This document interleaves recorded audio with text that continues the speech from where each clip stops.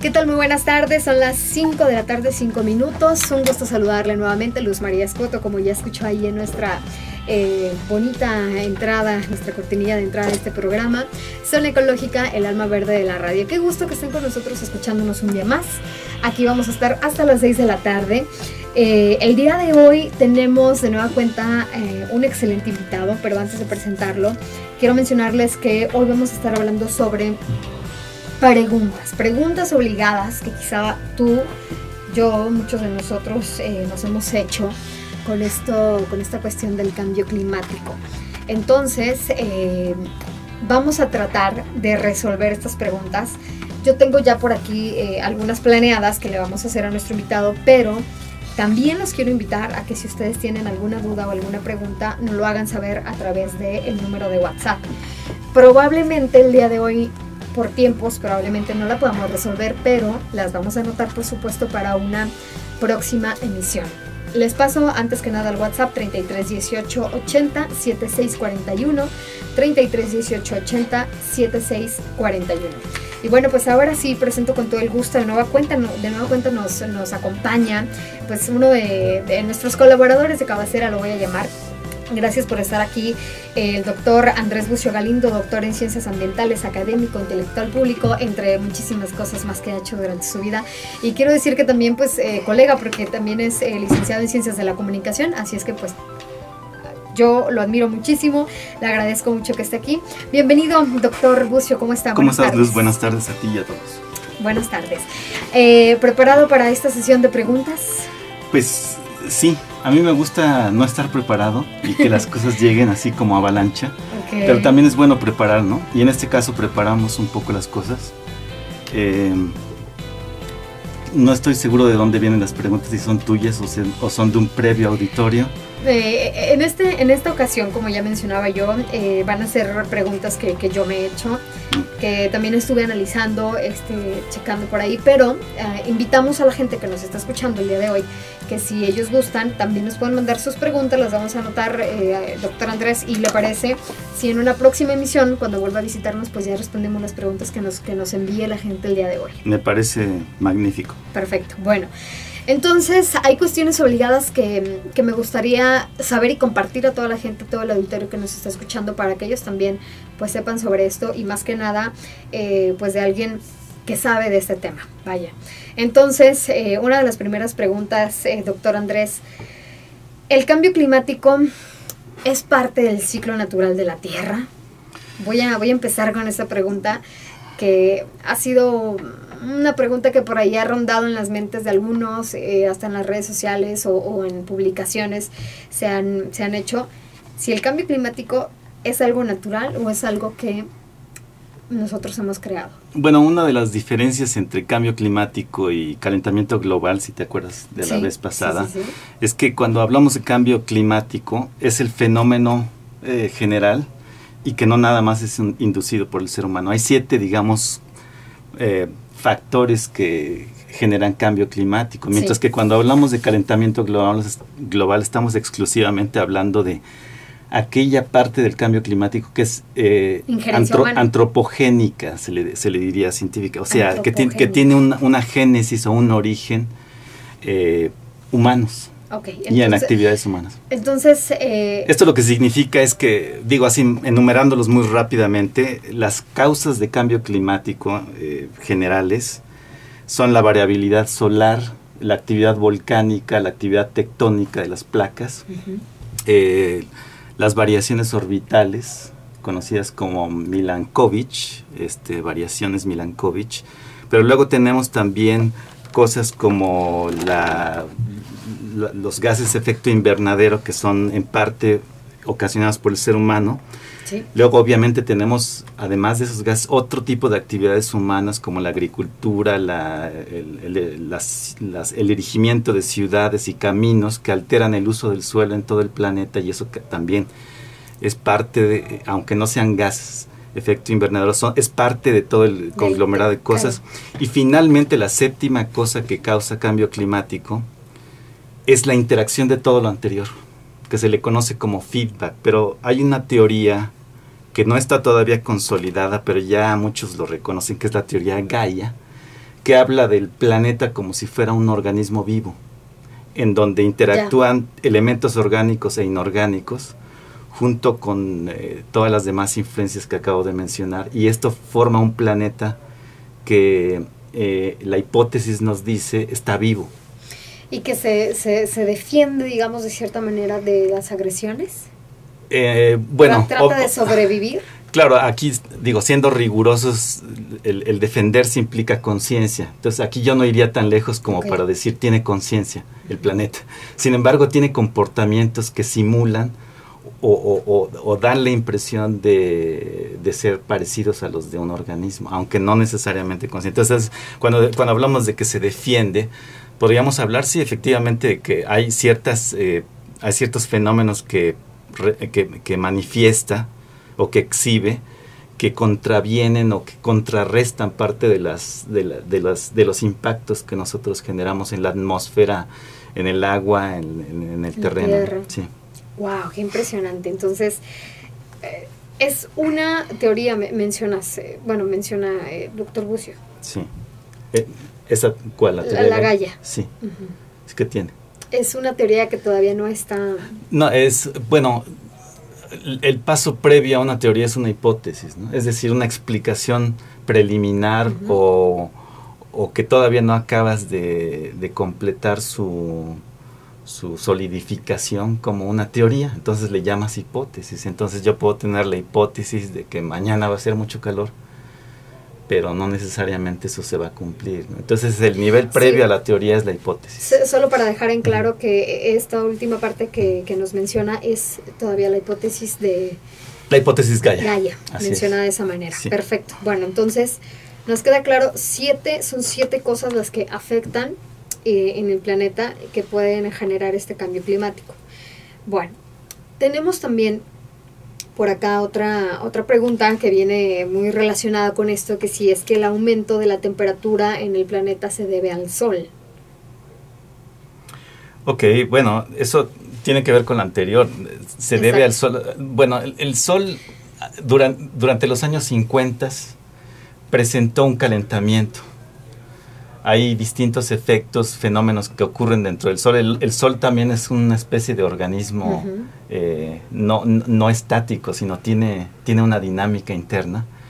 Y las manchas solares, eh, las, las, las órbitas que recorre y las influencias gravitacionales, todo ello hace del Sol otro, otro, otra masa enigmática en el espacio. Y entonces a veces se caliente y a veces tiene ciclos también de frío o, es, extraño y decir, eso también es afecta, eso también afecta al sistema solar y entre la Tierra. Eso puede afectar, o sea, podríamos pensar, e, es, suena extraño decir que el Sol se enfría, pero en realidad eh, a lo que se refiere es que tiene variaciones hacia, hacia, hacia abajo de temperatura. Y entonces deja de tener una menor irradiación hacia, hacia, hacia la Tierra pero ahorita, por ejemplo, el efecto que ha tenido es de, enfriamiento, de los años 60 para acá. Entonces podría saber, ah, eh, esto es contradictorio con el calentamiento del planeta. ¿no? Muy importante. Entonces podríamos mejor atribuirlo más que al Sol a, las siete variables que había mencionado, ¿no? La, además del Sol, la, actividad volcánica, la que son ya cosas internas de, que se dan en el planeta. Y, bueno, por ejemplo, las variaciones orbitales no. Ah, Eso tiene que ver con la posición precisamente de la órbita, el, el recorrido que hace el planeta nuestro alrededor del de, el sistema solar y las inclinaciones que tiene sobre su eje, eh, etcétera, ¿no? Perfecto, pero entonces podríamos descartar en este momento para aquellos que dicen es que el sol está calentando más, es que eh, ahora, se, ahora se sienten más los rayos del sol. En todo caso nos estaría ayudando ahorita a enfriarlo un poco, pero no es el caso. Perfecto, perfecto. Nada más para que quede claro. Siguiente pregunta, doctor Bucio. ¿Realmente ¿Cuántos grados ha subido la temperatura del planeta y cuáles son las predicciones a futuro sobre estas temperaturas? Bueno, aquí se habla, la, ciencia climática es, en ocasiones difícil de simplificar, pero a, grandes rasgos es casi un grado lo que ha subido desde, desde hace, eh, del periodo preindustrial, o sea, de antes de la revolución. 1850, sí, que es cuando empezó la mayor quema de combustibles fósiles. La, el periodo industrial se considera como mitades, mitades del siglo XVIII, o sea, los 1700 y por allá por donde, por Mozart y por... por Mil- este, sí, el del Renacimiento. eh, eh, Emmanuel 1700. Kant, el filósofo, por allá, ¿no? 1750 más o menos Exacto. hacia acá. Entonces, es la medición que se ha hecho.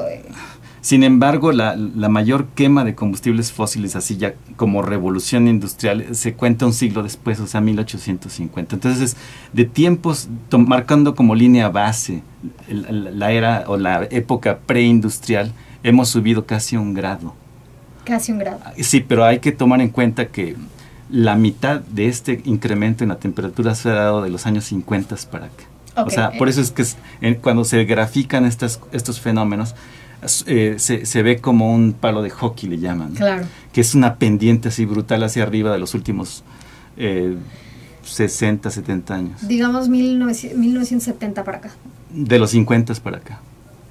Bueno, ya serían. Sí. Piensa en los 50. carrotes pesados de los años 50. De ahí. Cuánto quemaban de gasolina y, la- y las, las guerras mundiales. O sea, piensa que todo eso genera una gran industria metalmecánica, la industria pesada, las grandes construcciones, atómicas. la- la- las grandes carreteras que se han construido en, en los países. Es- Exactamente, las bombas atómicas. O sea, toda la tecnología bélica, urba- eh, urbanística, de industria pesada, de minería, las fundidoras, todo eso. Entonces eso genera, de, de los años, se podría pensar que de los años 50 para acá ha sido una de las, eh, eh, eh, podríamos decir que es el- la, casi la mitad de las, de- del incremento en las emanaciones particular de CO2 vienen de los años 50 para acá. acá.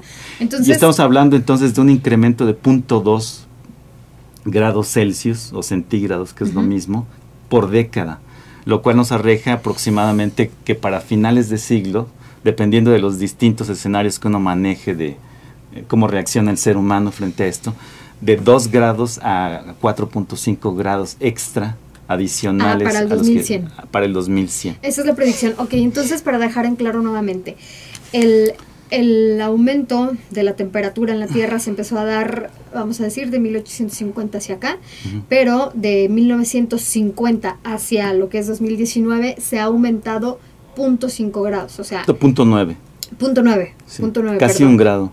Casi, casi un grado, pero como decías, Ah, este, la de, de mitad los 50 para acá. del claro. 50 para acá, para Sí. acá fue cuando se aumentó este la otra mitad de la, de la temperatura. O sea, en, en un menor rango de años se aumentó esta temperatura en punto cinco. Porque es un crecimiento exponencial. Y lo dijiste muy bien, es casi punto 5 de los 50 para acá. Ah, exactamente. Entonces, la predicción a- hacia finales de este siglo, híjole, pues qué terrible. O sea, si, si hemos subido un, un grado y ha habido eh, muchísimos cambios, ahora si aumentara 2, 4.5 grados hacia finales de 2100, Sí. Es terrible. Pero bueno, esa es la predicción. Bueno, pero a ver, Si, se- si seguimos, si seguimos como estamos. quiero añadir un comentario para los adolescentes que nos escuchan.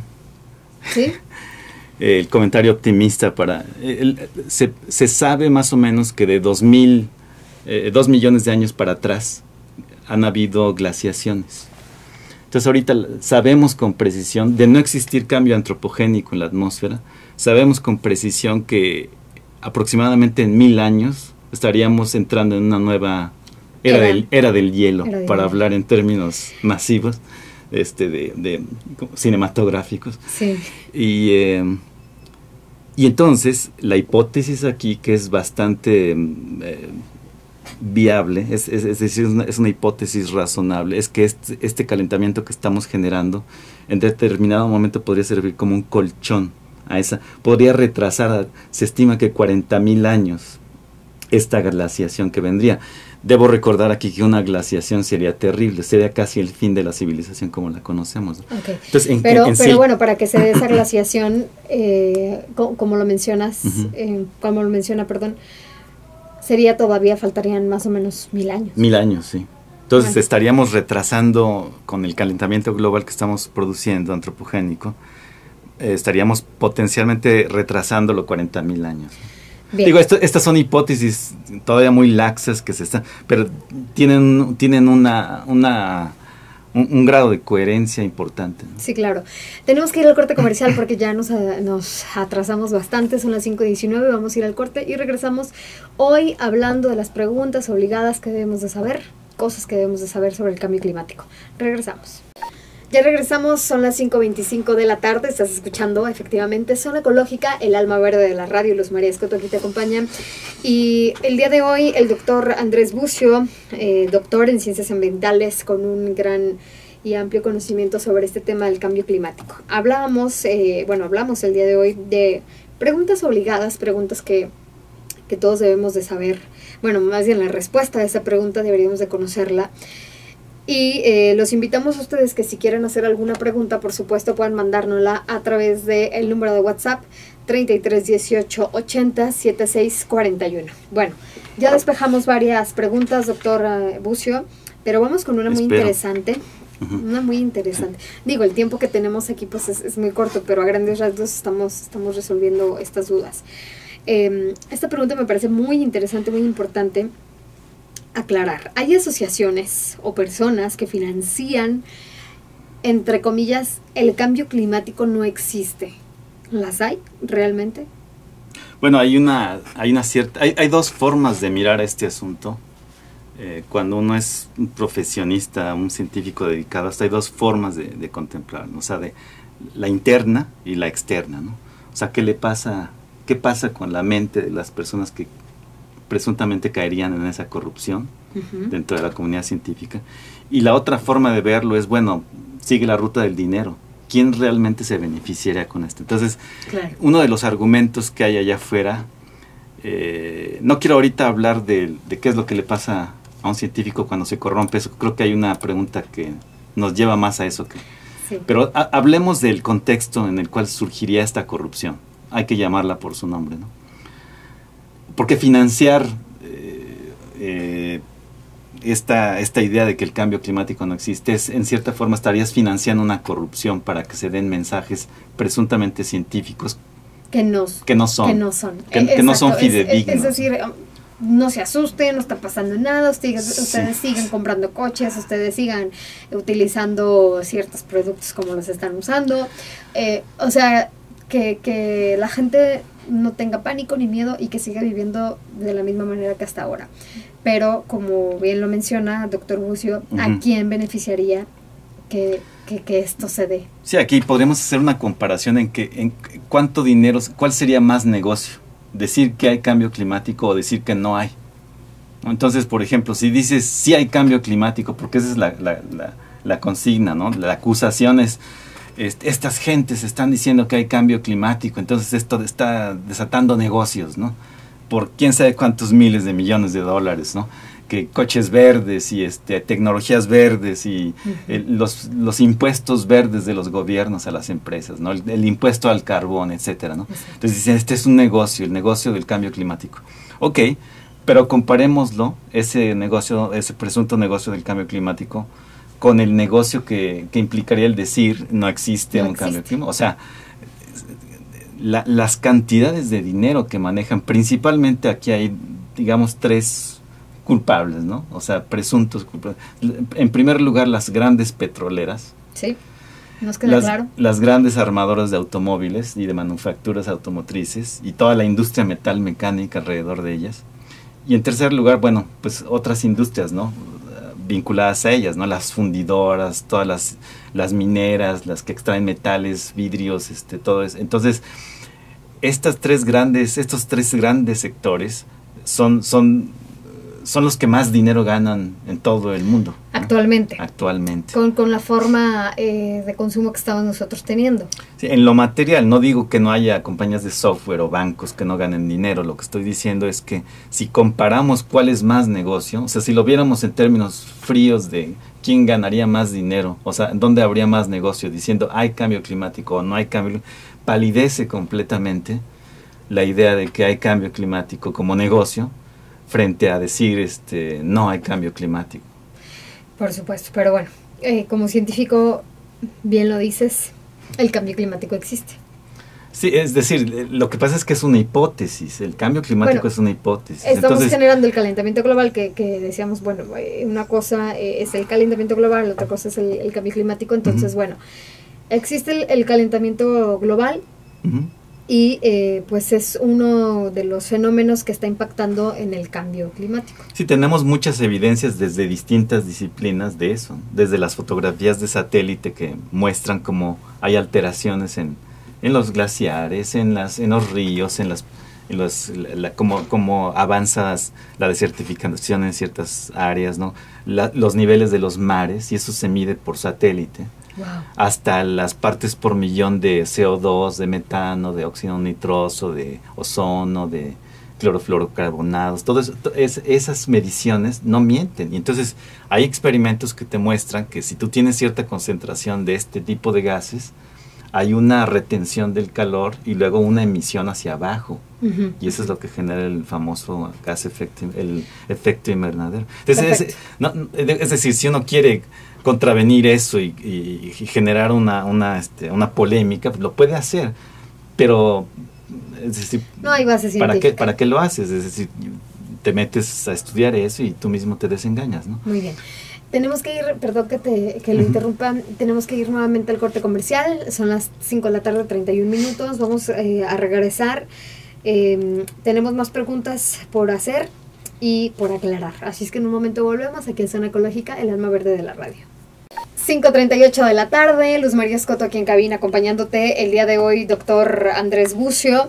Estamos haciendo pues las preguntas obligadas que hay que saber, hay que responder sobre el cambio climático y una, eh, como, como tú lo, lo, eres, eh, doctor Andrés, científico. Algunos, hay algunos científicos que manipulan los datos sobre la verdad de las temperaturas digamos, sobre los reportes científicos, que ya hemos hablado un poco sobre eso, que bueno, ahí están las evidencias, pero hay algunos científicos que, que se dejan corromper o que de repente hacen eh, publicaciones con información que no es verdadera. Fidedigna. Bueno, mire, los científicos son seres humanos corrompibles, como todos los seres humanos. Por supuesto. Y hay gente más honorable que otra. En, en, en general los científicos la razón por la cual son científicos casi no tiene nada que ver con, ser personas eh, sin solvencia intelectual o que eh, faltan a la honorabilidad. O sea, el científico tiene su mente en otras cosas, sus intereses generalmente son otros. ¿no? Y si tú ves el gremio de los científicos, sí hay científicos, y esto no es una acusación, es, se conoce y hay, han habido escándalos a nivel mundial. Hay científicos que se corrompen, pero una de las últimas áreas en donde se corrompen es precisamente la química atmosférica y el Las primeras áreas en donde un científico se corrompe es, por ejemplo, en la industria química, en la industria farmacéutica este, todo esto que vemos de los transgénicos. Digamos que les puede dar un beneficio directo. Hay un beneficio directo, exactamente, y les financian investigaciones y andan, andan un, un, día son directores de un instituto de investigación y al, día, al año siguiente son este, parte del cuerpo directivo de Monsanto. Y, al, y al, al, año siguiente otra vez regresan a la universidad y así se la van, ¿no? Entonces eso se le conoce como conflictos de interés. Ahora, hay científicos, yo, yo trabajé directamente con gente en el CRU, el Climatic Research Unit en la Universidad de East Anglia, y fue todo este escándalo destapado, supuesto que odio el nombre yo, el Climate Gate, lo quisieron igualar hacia un Watergate, o un, como si hubiera sido un verdadero escándalo, cuando fue un escándalo, en mi opinión, como alguien, como un actor involucrado, fue, fue un escándalo mediático, artificial producido sin sustancia real. ¿Por qué digo esto? Bueno, eh, ¿a cuánta gente tendrías que engañar? Es decir, vamos a suponer que hay un científico que verdaderamente transgiversa la información para alinearla a sus deseos de, decir que hay cambio climático. Vamos a suponer que hay uno así. Entonces, ¿cuántos necesitas para que esto se convierta en un efecto como para convencer? Porque, a ver, es que hay que entender aquí la sociología del, de la comunidad científica en el cambio climático. Estamos hablando de cientos de, probablemente de miles de científicos alrededor de todo el mundo, nutriendo el, al panel intergubernamental de, cambio climático eh, con información que se recaba a lo largo de décadas. Entonces, tú puede, uno puede engañar, pero no pueden engañar cientos de miles. No sé si me explico. Tendrían todos que ponerse de acuerdo para, para, para decir la misma mentira Y eso es lo que es muy poco verosímil. Es, es algo así como si de repente este, yo te digo, no, pues yo observé que un perro habla cuando ah. no está en presencia del ser humano. Claro. Entonces, eh, ¿cuántos tendría que convencer de que dijera esa mentira? Y entonces, para que todo el mundo empiece a pensar que los perros verdaderamente hablan cuando no están cerca del ser humano y que se han puesto de acuerdo para no hablar frente a nosotros. ¿no? Eso es importante porque, eh, como, como, te decía, bueno, siempre hay gente embustera o siempre hay gente que, que pues sin saber también es incrédula y te puede decir y te puede, y te puede mencionar, no, no, no, es que yo leí una nota donde decían que, que esto no existe, que está creado, qué sé yo. O sea, el, el chiste aquí es que nosotros no nos dejemos eh, llevar por este tipo de comentarios sin fundamentos y como, como ya lo dice aquí el doctor Andrés, que pues a cuántas personas tendremos que engañar si los científicos, hay miles de científicos haciendo investigaciones sobre, sobre este tema, recabando información durante muchos años y están haciendo sus publicaciones. Así es. No, o sea, no, pues no tendría sentido. Así es que no, no se dejen engañar o no se dejen llevar por, noticias falsas, igual a lo mejor que ni siquiera publicó algún científico, porque puede haber eh, páginas de internet o este medios de comunicación que dicen, ah, es que eh, una investigación, ni siquiera dan fuentes, una investigación de no sé dónde declaró que esto no existe. Eh, ah, para allá voy. Que no nos dejemos engañar sobre esa información que ahora pues abunda en internet, ¿no? Ahora, ¿me permites agregar un, una observación de como de naturaleza filosófica también? Vamos a suponer que, es decir, la, mayor parte de los seres humanos ¿no? que somos afectados por este fenómeno, el cambio climático, pues no somos científicos. ¿no? Entonces, vamos a suponer que, vamos a suponer que no hay cambio climático. Suponiendo. ¿Nos gustaría que no hubiera efectos a todo lo que hacemos? O sea, esta es una pregunta filosófica. Es algo así como si, suponte que tú comes mucha grasa de mala calidad y dulces y gansitos y papitas y, o sea, todo lo malo que hay en este mundo y te picas los dientes y no sé qué.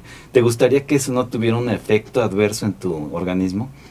O sea, nos gustaría que no hubiera efectos nocivos hacia cosas malas que hacemos. O sea, ese es un mundo que nos gustaría eh, experimentar. Creo que no. O, nos gustaría que hubiera efectos eh, que fueran correspondientes o que fueran congruentes con las cosas negativas que hacemos o las no sé si me explico es decir también aquí la pregunta es algo que no sé nunca nunca lo había es el tipo de cosas que nos tenemos que preguntar o sea realmente no quieres que pase algo malo si tú estás inhalando todo el tiempo este humo o sea te gustaría que eso fuera así o, o, te gustaría que mejor tuvieras una señal del entorno decir a ver te estás equivocando en esto entonces yo pienso que incluso si la ciencia del cambio climático no fuera fidedigna, fue una toda una mentira. lo siento muchachos, fue todo un, fue todo un error, esto fue un engaño. Esto fue un engaño. Ustedes, ustedes perdonen, ¿no?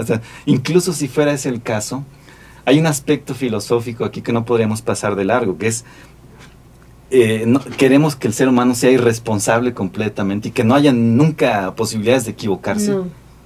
Sé si me explico. O, sea, o queremos más bien que los efectos de las cosas que hacemos eh, se manifiesten. Claro. Sería la segunda, la opción dos. Yo, me, yo soy de los que piensan que la opción dos es la más la más humana y la más inteligente y la más interesante también. La más interesante, porque si no, pues, ¿qué, sentido tendría? Ah, Allá vamos, al, ah, pues, mm. qué chiste, ¿no? Exacto, sí, o sea, Ah, por eso es importante cuando hablamos de estos temas, no nada más hablar de la fría y dura este, base de datos y de los fríos y duros estadísticas y no información científica, sino también tenemos que echarle coco filosófico, coco cultural. y en esto podemos participar todos, no nada más los científicos. Todo mundo puede participar con un poco de pensamiento propio respecto a estos temas. a nadie le están atando las manos ni le están tapando la boca para no eh, eh, hablar y pensar filosóficamente en los temas. Reflexionemos, efectivamente. Vamos a sentarnos abajo del árbol, del árbol a ver si nos cae la manzana. Perfecto, bueno, vamos eh, de nuevo a cuenta del corte comercial, son las 5.46, el día de hoy hablando con el doctor Andrés Bucio, doctor en ciencias ambientales, sobre pues estas preguntas obligadas que, que, debemos hacernos y que debemos contestarnos, así es que pues aquí está él para respondernos estas preguntas de manera científica. Vamos al corte y regresamos. 5 de la tarde, 51 minutos. Eh, qué gusto que nos sigan escuchando. Tenemos por aquí un comentario, me, me, parece pertinente porque viene a, a tema con nuestra siguiente invitada de la próxima semana. Dice, buenas tardes, excelente programa y tema, muchas gracias. Soy ingeniero químico y académico en la Universidad de Guadalajara. El cambio climático es una realidad desde cualquier ámbito científico y social. En respuesta a esto, la UDG puso en marcha el Programa Integral de Sustentabilidad Ambiental con origen en Cutonalá, que es un camino para intentar mitigar los daños ambientales. Los invitamos a conocer el programa. Precisamente eh, José Vázquez, que es el que nos envía el, mensaje, precisamente la siguiente semana viene una académica, una docente de ahí de, de que nos va a platicar sobre... Em, las energías limpias y que Cutonalá es la primer universidad de la UDG que se maneja con energías limpias y sustentables. Entonces, bueno, la siguiente semana los invitamos a que nos escuchen. Para continuar y no terminar, porque no vamos a terminar con este tema, vamos a, continuarlo en, en una próxima emisión. Doctor Bucio, tengo una pregunta muy importante que yo personalmente me he cuestionado mucho tiempo y que no he podido aclarar personalmente. He visto en varias publicaciones, en varios medios que aseveran que el cambio el calentamiento global, perdón, calentamiento global, eh, el principal causante es el gas metano que emiten la industria ganadera. Entonces, para mí surge la duda si por ahí está el, como primer lugar la industria ganadera o la, la quema de hidrocarburos. ¿Cuál sería pues este principal generador? A ver, em, en términos de gases de efecto invernadero, este es un detalle científico que le interesará a muchos. El 75% de los gases de efecto invernadero son, es agua, es, son, eh, es vapor de agua y nubes. Ese es el 75% de los gases de efecto, efecto invernadero. Sí. Ahora, el dióxido de carbono es 20%. Aproximado, todas estas son cifras aproximadas. Y luego ese, el otro 5% restante ya son gases como el metano, como el ozono, el óxido nitroso, los clorofluorocarbonados, los hidroclorofluorocarbonados, los ¿ah? principalmente esos. Entonces, estamos hablando de que el metano es parte de ese, entra dentro de ese 5%, junto con el ozono, el óxido nitroso, es ese 5%, el principal es el CO2. Ahora, aquí hay que hacer una diferenciación entre eh, la potencia del gas para generar eh, retención y luego emisión de radiación, o sea, el, efecto que conocemos como invernadero. O sea, la potencia que tienes el, el, metano y el óxido nitroso son mucho más potentes que el CO2. Claro. Sí, e, es lo que yo, eh, bueno, he leído he tenido la oportunidad de investigar que sí, el, metano es mucho más potente que el CO2. Pero las partes por millón son mucho mayores en el CO2. Que existen actualmente en la atmósfera. Exactamente, o sea, la, cantidad disuelta en la atmósfera de metano y del es, es muy poca en relación a, a, la cantidad, aunque sea más potente, hay mucho menor concentración de este tipo de gases que de CO2. Ahora, el CO2 es principalmente producto de la modernidad y la, el mundo industrial que conocemos. El metano tiene muchos orígenes que no nada más son eh, antropogénicos, producidos por el ser humano, sino tienen que ver con, eh, con eh, muchos procesos orgánicos, biológicos, sobre todo, por ejemplo, en lugares como los, los pantanos, ¿no? en las selvas tropicales, los árboles generan metano. Luego tú bien mencionabas los procesos digestivos de las vacas, ¿no? Exactamente. Eh, producen, producen metano. Entonces, esta preocupación es legítima, pero al mismo tiempo hay que dimensionarla, hay que ponerla en perspectiva. Sí, porque eh, como, como yo te, eh, te mencionaba, pues había leído esto, ¿no? Que, que, la principal industria contaminante es la ganadera, porque las vacas producen metano y el metano está eh, pues haciendo este efecto invernadero. O sea, es correcta la respuesta, es correcta la hipótesis, la suposición es correcta, pero no por las razones que ellos dicen, no es por la liberación de metano. Es decir, obviamente que si las vacas producen metano y el metano es uno de los gases, es alrededor de 25 veces más potente que el CO2, es obvio que tiene un efecto en, el, en, el, eh, en la atmósfera, pero eh, tomemos en cuenta que es parte de ese 5%. Ahora, cuando se habla del efecto de la ganadería, en particular se está hablando del efecto de la ganadería bovina, de las reses, con fines, eh, comestibles y, de producción de leche.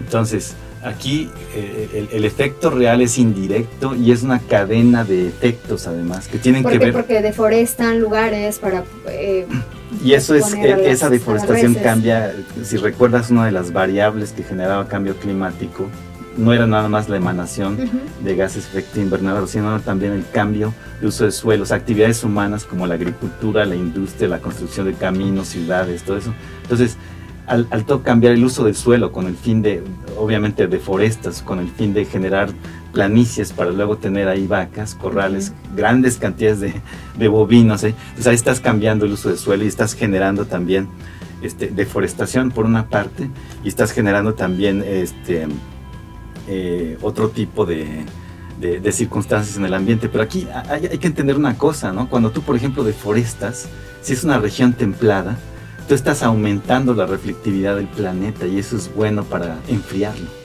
O sea, no, es, es, es, es, es, sumamente complejo, pero déjame terminar con, con, con la pregunta. Sí. Este, nada más para eso, perdón que lo mencione, pero es nada más para mostrar la complejidad. Cuando hablas de ganadería, también estás hablando del uso energético, o sea, la, capacidad de conversión energética que tiene el animal para producir todo lo que ingiere en agua y alimentos en materia sólida comestible que se llama carne, ¿no? Y el otro es, el agua. Entonces hay que seguir la ruta de estas cosas, ¿no? ¿Qué impactos cambia en el terreno, en el cambio de uso suelo, en la deforestación? ¿Qué impactos genera en toda una industria energética? Es decir, hay que alimentar a la res con granos y eso a su vez genera más deforestación para cultivar granos. La mayor parte de los granos que se consumen, que alrededor del 40% de los granos que se producen en el ya, ya, ni, ya ni me acuerdo si es el 40 o el 60%, es cebada para alimentar animales. Bueno, y el, y, el, agua, adicionalmente el para alimentarlos. Y eso también es gasto energético y obviamente tiene un impacto ambiental indirecto, repito. ¿no? Bueno, Vamos a continuar, eh, nos va a acompañar el doctor Andrés Bucio. Les voy a dar la fecha para que ustedes se, se, conecten ese día, el 12 de diciembre va a estar aquí con nosotros. Entonces vamos a continuar este tema que nos da para muchísimas preguntas más. Pero bueno, nos tenemos que despedir. Muchísimas gracias a todos por habernos acompañado. Gracias, doctor Andrés, nuevamente por estar con nosotros. Gracias a ti y al auditorio y ojalá nos podamos ver nuevamente. Perfecto, lo, esperamos. Eh, tenemos que despedirnos. Muchas gracias a Martín en Controles. Y eh, nos escuchamos nuevamente el próximo martes, aquí a las 5 de la tarde, en Zona Ecológica, el alma verde de la radio.